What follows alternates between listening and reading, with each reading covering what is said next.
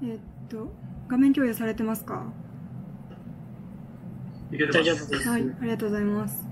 えっと、私は宮原先生が送ってくださった自転東南アジアの風土生態環境という部分をまとめたいと思います。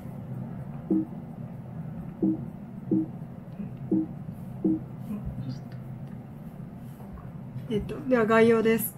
東南アジアの景観的特徴として森、多島海、水田の3つが挙げられています。このように多様な自然と風土現像の変貌が行われています。一つずつ見ていきます。ではまず一つ目の森です。東南アジアの湿潤高温気候下では森は旺盛に生育します。多種類の木が競い合って生息し、そこに生息する多種類の生物も存在します。これは人間とは別の主体性を持った存在と表現されていました。この背景として巨大な森にすがって人々が生きていたという現実があります。例えば家や食料、様々な生活用品などです。2番目の多島海です。東南アジアは世界有数の多島海です。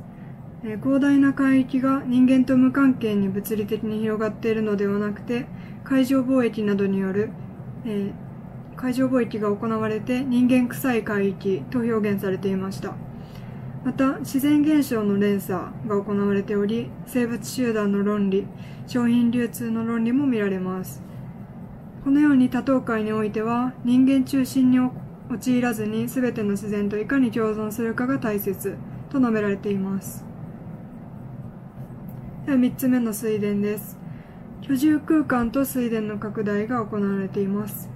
人口増加により森が減少し、風土の現像として描くメルヘンチックな景観が変貌しつつあります。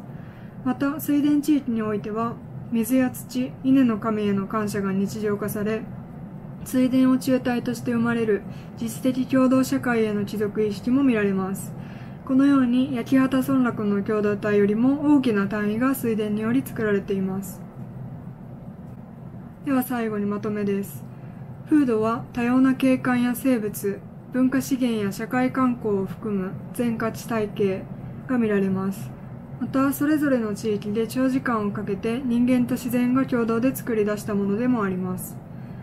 また、東南アジアの自然と風土は多様さにかけて世界に誇るべきものとしています。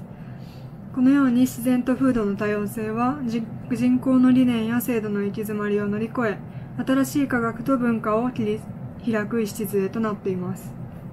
以上で発表を終わります。ありがとうございました。